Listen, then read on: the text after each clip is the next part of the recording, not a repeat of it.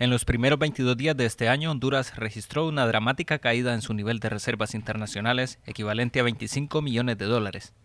Al cierre del año anterior, las reservas netas fueron de 2.571 millones de dólares y al 22 de enero de este año esa cifra bajó a 2.546 millones.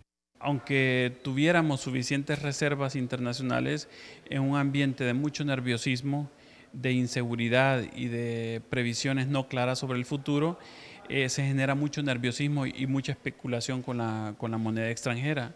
De tal forma entonces que sin ser, sin ser necesario podría eh, generar una, una, avalancha de compras de divisas, eh, lo que definitivamente entonces debilita las reservas internacionales del país. Esta reducción de 25 millones de dólares significa que el país en promedio mermó sus reservas a razón de más de un millón de dólares diarios. Y en relación al ingreso de divisas en enero recién pasado, estas provienen principalmente de la exportación de bienes y servicios y de las remesas familiares. Lo que a nivel gubernamental se pretende es que las reservas internacionales cubran por lo menos tres a cuatro meses de las importaciones del país. ¿Para qué? Para que la gente siempre sepa que existen suficientes reservas y que sus importaciones no van a tener ningún problema y que van a poder utilizar esos recursos el tiempo y en el momento en que ellos los estimen conveniente.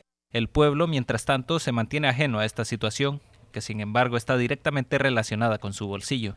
Eh, tanto que cuesta ganar el dinero y, malgastarlo en cosas que no, dan beneficio, da mejor estar en casa. Lo que es Semana Santa, después de Semana Santa, a empeñar las cosas y todo lo que hacemos, es la cultura nuestra que nos conlleva eso. Entonces la gente tiene mucho, ya no hay por dónde agarrar pues, porque directamente en este país, como le repito, el dinero lo tienen los grandes y, no lo sueltan. Esta tendencia a la baja de las reservas además pone en riesgo la estabilidad del empira frente al dólar, ya que como las divisas son manejadas por el Banco Central, las variaciones suceden todos los días. Por esta razón, los analistas recomiendan al gobierno regular las importaciones, sobre todo de los productos suntuarios, ya que éstas representan una salida elevada de dinero para las arcas del Estado. Cristian Rodríguez, Noticiero Campus Televisión.